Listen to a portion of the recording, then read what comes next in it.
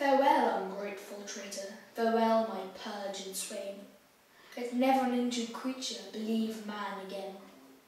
The pleasure possessing surpasses all expressing, but 'tis too short a blessing in love's too long pain. 'Tis easy to deceive us in pity of your pain, but when your love you leave us to rail at you in vain. Before you have described it, there is no bliss beside it, but she that once has tried it will never love again. The passion you pretended was only to obtain, but when the charm is ended, the charmer you disdain.